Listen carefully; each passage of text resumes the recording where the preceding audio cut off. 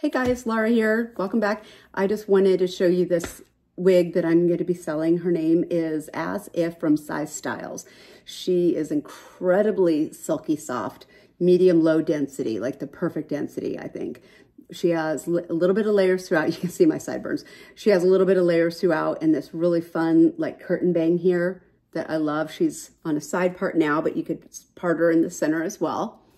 Um, I needed curl her. She's just kind of been sitting in a box and I didn't take the time to curl her. But she can, and I can always add more layers or something like that if you wanted. But she has got a really cute, uh, I would say, strawberry blonde root. Let me get closer up so you can see that root.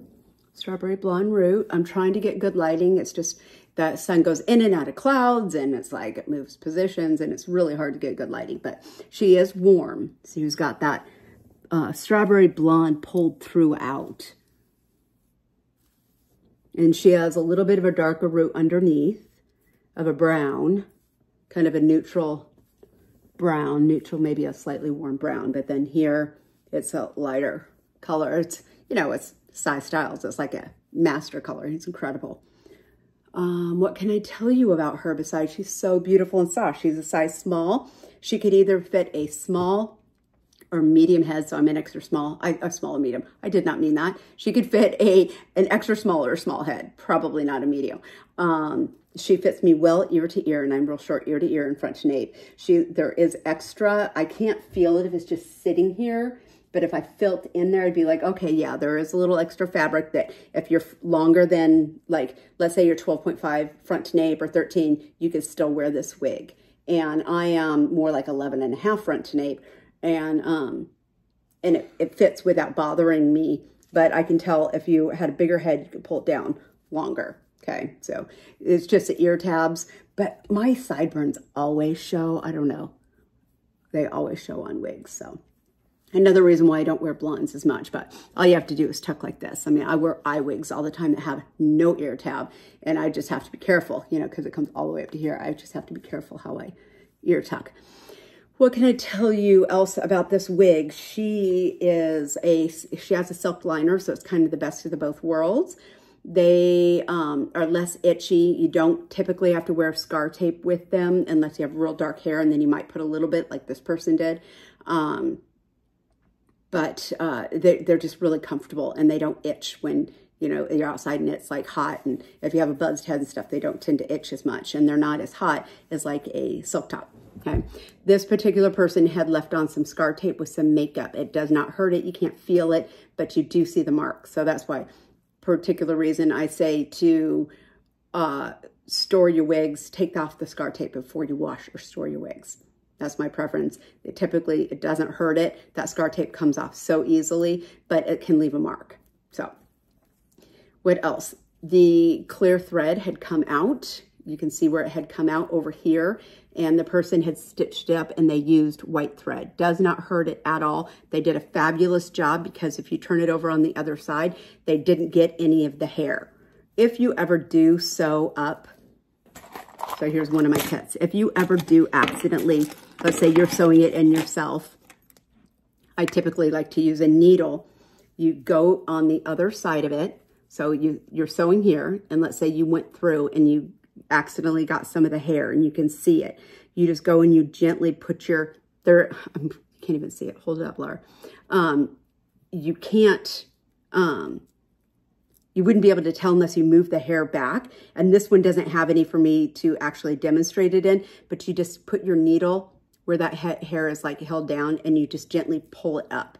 You just stick your needle in. If you feel, if you see it, I'm just pretending because it's not done on this one. And you like get the hair and you lift it out from underneath where the stitching was if it ever got stitched down. But like I said, this one didn't. I'm going through and checking it. It didn't anywhere I can see. Okay, anyway, she re-sewed it down.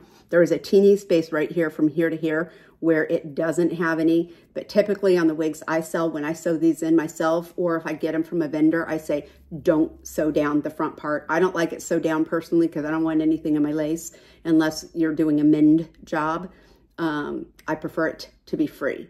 And then it doesn't move around. And if it does, you just put a, you can put a little piece of scar tape right there, like right over it you know, if you don't like the movement of it, or you can sew it down, but I, I like mine free.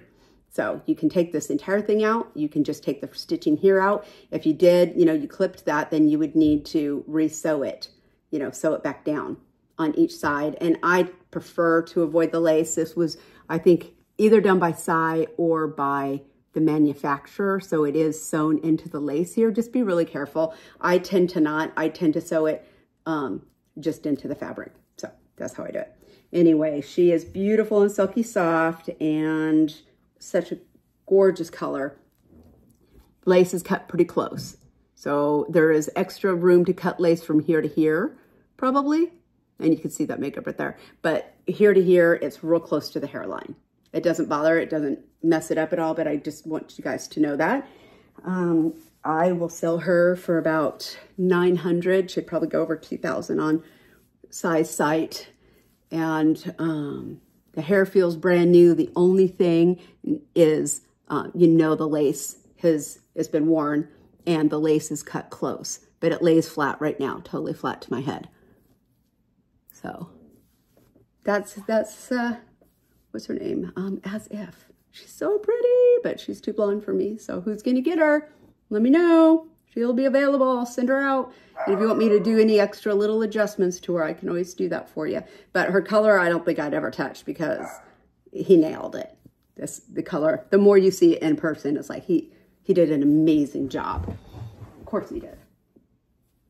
I love Sai's wigs. His coloring, he's just so awesome. I love this bang.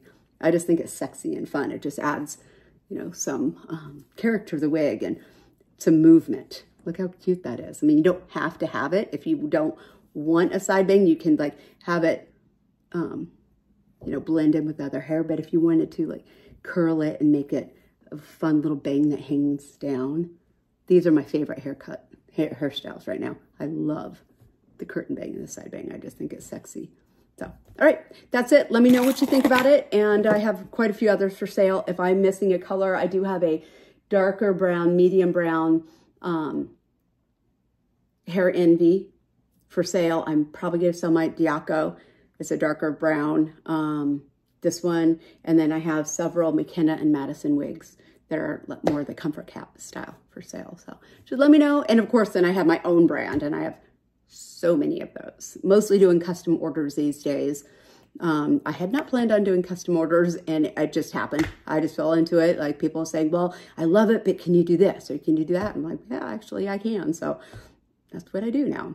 But uh, I have a lot on my site. And if it's not, if you see something on my site and you want something done to it differently, like I want more of a root, I want it darker, I want more of a highlight, whatever, I want it thinner, I want this and that, I can do that to it because, you know, for the most part, I've all of them I've custom color. There might be a couple of them that were closer to a stock piece, but I tend to do something to all of my wigs, some kind of coloring and I bleach the knots and pluck hairlines and add more hair and lots of different things. So if there's something you need done to it, if you need a silk liner added or removed or whatever, I can do all of those things. So just let me know.